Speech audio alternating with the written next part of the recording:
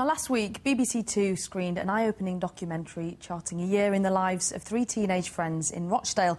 Three girls and three babies is a bleak reflection of the poverty, lack of aspiration, and dependency on benefits that exist in the area. By the end, two of the girls had babies and one had left Rochdale for good. Joining me now is Simon Danczuk, the Labour candidate for Rochdale, who says the film must act as a massive wake up call for the people of Rochdale as well as for the politicians who govern it.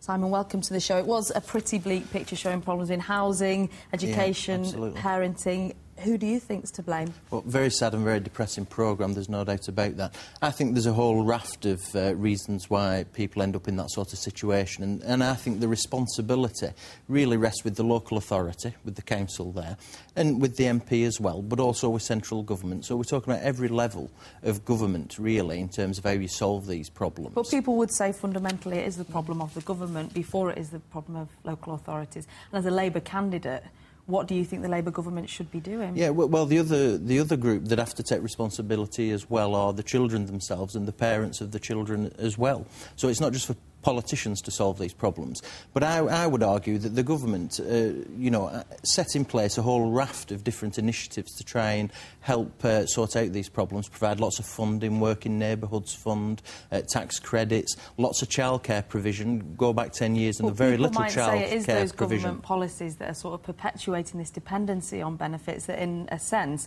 the government's responsibility for these young girls thinking, well, I'm entitled to have a house, I'm entitled to have two babies.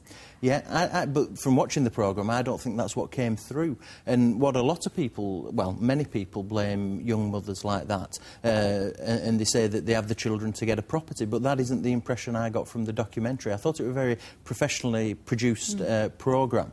I don't think it showed Rochdale in a fair light. There are lots of be beautiful parts to Rochdale, uh, and that didn't come through at all. Uh, but it, what it did show is that the problems are around economic and social issues that people face, and it's really for local councils councils uh, to implement the uh, solutions on the ground. Mm. You can't do it from Whitehall, you can't do it from London. The accountable body is the local authority and other agencies and getting them to work together. And that's why I say that you need the MP to bang the drum to improve uh, services, you need the MP to encourage investment in the town, and you need the local authority. And I would argue that the local authority doesn't do particularly well in terms of social services. In Rochdale specifically? In Rochdale specifically. So, for example, they had a very poor rating in terms of adult care relatively recently. That's begun to improve uh, more recently. Uh, educational attainment's okay, but it's certainly not fantastic.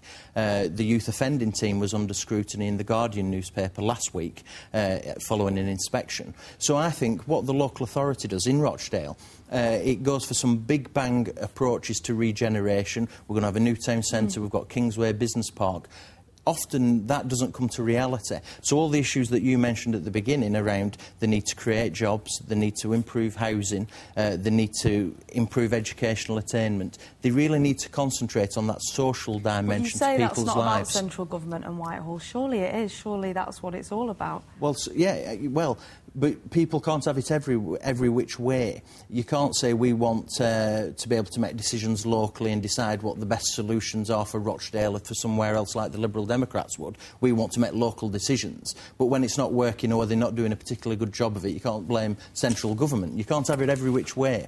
Something so, quite shocking that came out of mm. it, though, was some of what can only be deemed racist language yeah. coming out of the girls' mouths. Are you concerned, especially with an election coming up, that it's young people like that and perhaps ex-Labour voters mm. that will be turning to the BNP? There's already a seat in the European Parliament from this region that's yeah. gone to the BNP. Yeah. What are Labour going to do to stop those votes going towards I, them? Well, I think people who, who find themselves in a difficult economic social situation are looking for somebody to blame, and it's often the case that the Asian community get blamed mm. for that. Uh, I've, uh, I've often heard that on the streets of Rochdale when I'm knocking on doors, but at the same time I've heard Asian uh, residents blaming the Eastern, pop Eastern Bloc population for coming in and taking jobs. The reality is it's not about race, it's about the economic situation in the town. That's the real issue. But people don't always focus on that. I accept it. Rochdale actually has, where the local authority does reasonably well, I think, is in terms of community cohesion.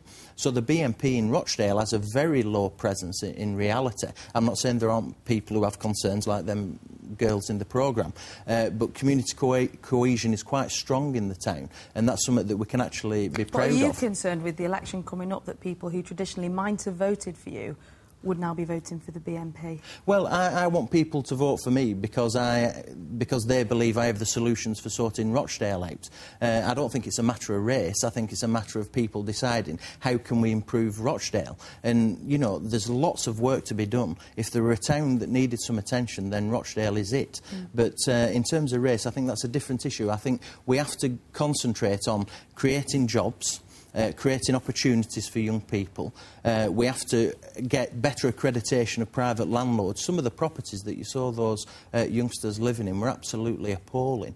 And uh, they have an accreditation scheme for private landlords. Everybody has a story about a private landlord not treating them particularly well. Some of that that we saw I thought were absolutely appalling. And it's the council that accredits that uh, scheme, so there's lots of work to be done. OK, thank you very much, Simon Danczuk. Good to see you. Thank you.